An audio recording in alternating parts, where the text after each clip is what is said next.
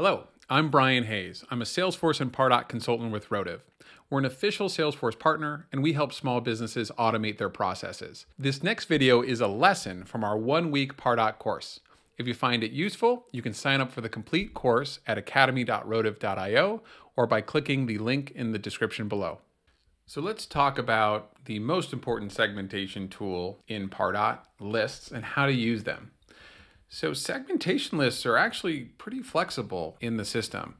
You can, of course, use them to create a list of people that you'd like to send an email to or to send a series of emails to with an engagement program. But you can also use them for suppression. So any list that you create, any list of people, can act as a filter against your outgoing campaign, your outgoing messaging. So, for example, you might want to use a list of competitors as a suppression. So you're not accidentally sending you know, important IP or marketing material to your competition. You could also use suppression for VIP customers.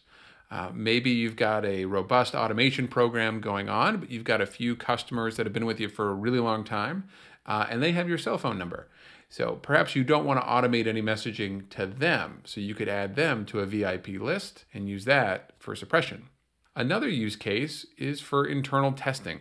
You can add your own colleagues to a list within Salesforce uh, as an internal test list, and then make sure that all of the emails that you're building look great before you finally hit that send button to your customers. Another way to think about leveraging lists is to combine them. So once we get into dynamic lists, you'll see that we can create rules to pull people on or off of these different lists. But the other thing is you can actually reference each other.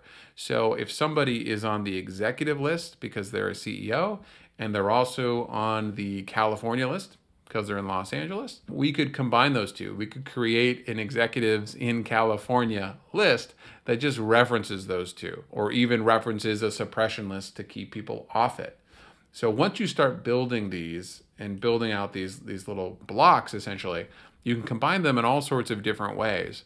And at the end of the day, we want to save time so that you can get a core group of people that you're trying to communicate with and send a relevant message. But we want you to be able to do that as fast as possible. And so having this flexibility with list building is just another tool to help you accomplish that. Thanks for watching that lesson from the one week Pardot course. If you'd like to see the other lessons, you can click the link in the description below or go to academy.rotive.io. And if you did find it useful, please hit the like button and click subscribe. Thanks for watching.